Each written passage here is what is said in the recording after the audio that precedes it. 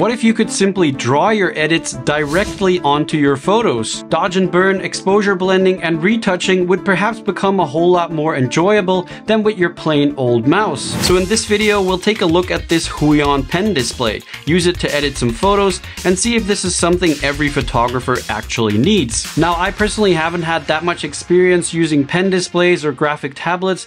I've used a Wacom tablet here and there, but it never really clicked. The Huion Kamvas Pro, however, is not your standard graphics tablet. In fact, it's not a graphics tablet at all. It's a pen display or a display tablet. So it's actually a monitor on which you can draw using a wireless pen. Similar to an iPad, but with one big difference. It's not a standalone device like an iPad. In order to function, pen displays need to be connected to a computer. So they're not a tablet computer like, for example, the iPad. And because it's a monitor, the main advantage of display tablets is that it can run any program that your computer can run. So Photoshop, Lightroom, Illustrator, or whatever software you are using. These graphic tablets are quite well known and popular among digital artists and graphic artists, so people that draw a lot, but I thought it would also be a great tool to edit photos. So when Huion reached out asking if I want to try and edit some photos on their Kamvas Pro 13 2.5K, I said, sure, let's give it a try. All right, let's quickly look at the specs of this Huion pen display and then I'll show you some photo editing examples. The Kamvas Pro 13 2.5K is Huion's improved version of the previous Kamvas Pro 13. They upgraded the 1080p resolution to a 2.5K resolution, and it looks really good on this 13-inch IPS screen. The screen is laminated with a low glare surface. The anti-glare surface helps with reducing glare or reflections from the screen, but at the expense of some image sharpness, which you would get with glossy screens. However, this is the case with any display tablet with a matte screen. Lamination enables the pen tip to touch precisely where you want it to on the screen, without any visual gap between the screen and the display underneath. This is something often referred to as parallax. The Huion has 145% sRGB with a 1200 to 1 contrast ratio. So the screen is nice and bright and it has beautiful vibrant colors. On the left of the screen there are 7 fully customizable shortcut buttons. They have a slight indent which makes it easier to navigate and remember the right button while keeping your focus on the screen. It's really easy to set these up in the software. The Kamvas Pro 13 2.5K comes with Huion's PenTech 3.0 pen, which is supposedly their latest and greatest pen.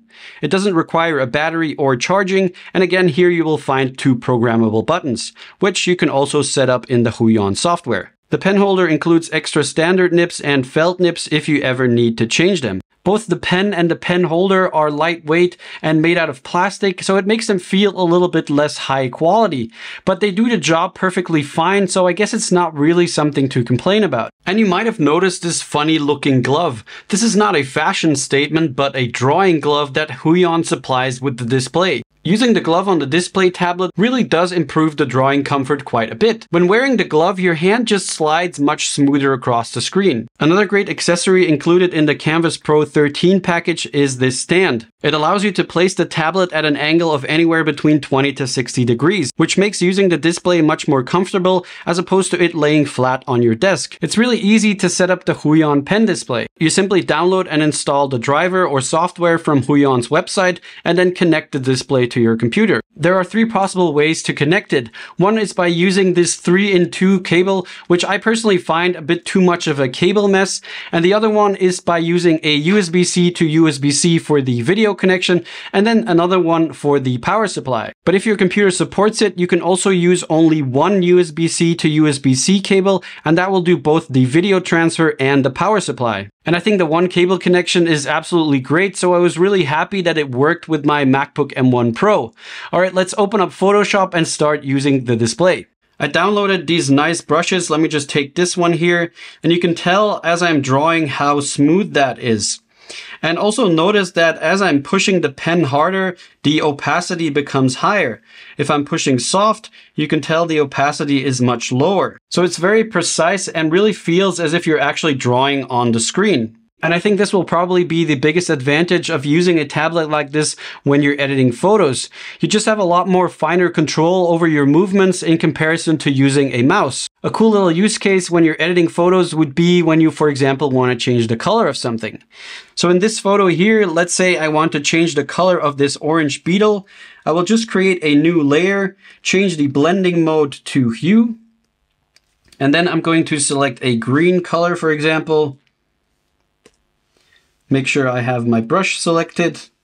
And I'm going to take a soft round brush, maybe not that soft.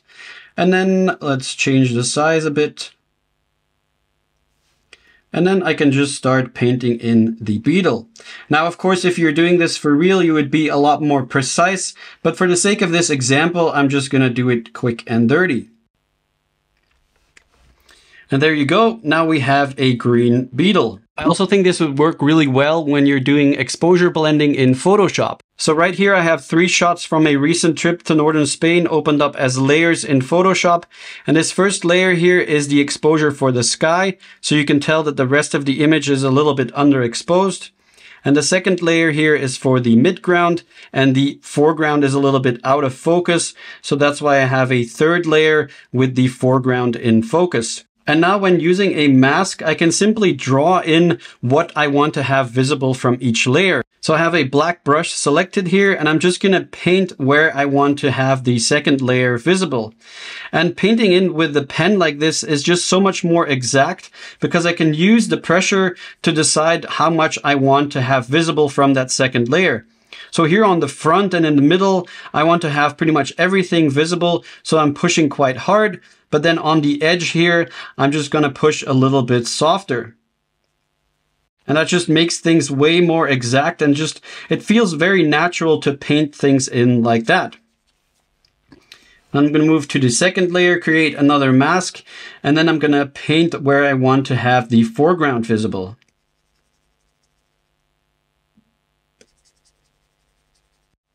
And again, just where it's transitioning to the uh, midground layer, I'm just going to paint a little bit softer.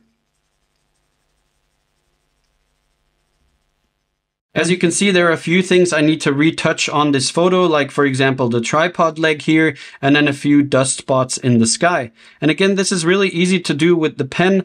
I'm just gonna select the remove tool using the shortcut J. And as you can tell, I made a merged layer here to make things easier.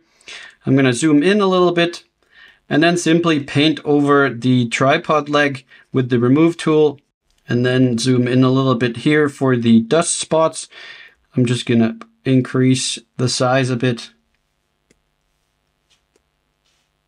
Also, if you're doing portrait retouching and doing things like frequency separation, it's really nice to do this with the pen display. All right, now I've taken this photo back into Lightroom. I've tweaked it a little bit more and let me show you how easy and fun dodging and burning is with the tablet. You can of course also do your dodging and burning in Photoshop, but I just want to show you the tablet in both softwares. So I'm going to create a new brush mask, increase the exposure a bit, maybe increase the whites a bit as well, and then also increase the temperature a bit. And then I'll paint over the areas that I want to brighten. And also in Lightroom, the amount of pressure you put on the pen determines the amount you're actually painting in. Now I'm going to add another brush mask and then decrease the exposure, add some contrast, and decrease the temperature a bit.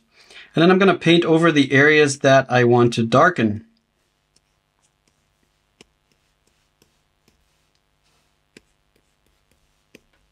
Now again, I'm doing this very quickly just for the sake of the example, but let me just show you a quick before and after. Now I have to say that there is somewhat of a learning curve here. It's a bit of a different workflow and it will take some time using the pen display to get accustomed to things like the shortcuts and just the feel of editing photos this way. So is this pen display or a pen display for that matter something you really need as a photographer to edit your photos? Well, the short answer is no but it is a lot of fun to use and it really makes some editing tasks much easier and much more fun. Besides that, if you're into drawing or sketching or anything like that, this is a fantastic tool. And the Huion Kamvas Pro 13 2.5K is a wonderful option for anyone getting into pen displays. I would however actually recommend looking at the slightly larger 16 inch version of this Kamvas Pro because I did find that the 13 inch was a little bit too small, but that could be a personal thing. Anyway, if you're interested interested in checking out the Huion pen display, I will leave a link for you in the description. Alright, that's it for me. Thanks a lot for watching, and I'll see you in the next one. Bye!